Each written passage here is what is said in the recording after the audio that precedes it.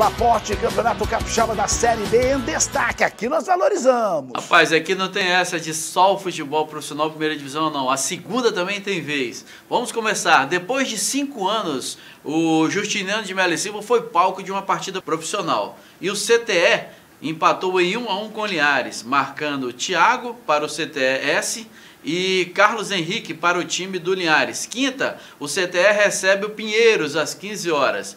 No outro jogo também, Ferreira Neto, no estádio Justiniano Melo Silva, o Colatina Esporte Clube perdeu de 3 a 0 para o São Mateus. Leonardo, Thiago e Simeão fizeram. O Colatina volta a jogar nessa quarta-feira, às 15 horas, no estádio Justiniano de Melo Silva.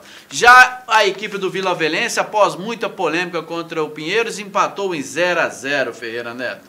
A Série B tem sequência nesse final de semana. É, o Vila recebe o São Mateus, ó, recebe não, joga com o São Mateus lá no Sernambi. E a, e a equipe do Pinheiros vai enfrentar o S, né, o CTE Ratinho, como diria o outro, às 15 horas no Justiniano de Melo e Silva. Portanto, Vila e Pinheiros, o Verdão do Norte, empataram em 0 a 0 Ferreira Neto. Entendeu? Então a gente tem que botar, treinar durante a semana para ver o que a gente acertou, o que a gente errou, para poder a gente acertar esse último passe e essa última finalização e para a gente poder sair com as vitórias aí durante, durante esse campeonato. A gente tentou implantar com a perda do jogador deles a gente conseguiu dar mais ritmo, mas eu acredito que, que o nosso time ficou muito ansioso para poder logo fazer o gol e com isso a gente sofreu alguns contra-ataques, né?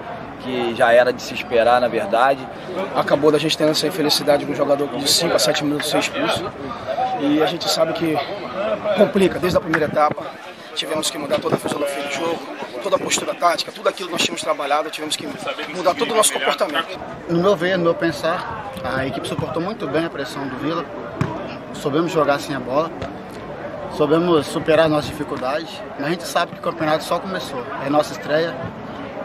Próximo jogo nós já temos uma guerra tão grande para poder enfrentar. E agora toca a bola. O campeonato começou agora em frente e vamos seguir em frente com o Pinheiros e junto a gente vai conseguir alcançar a coisa maior.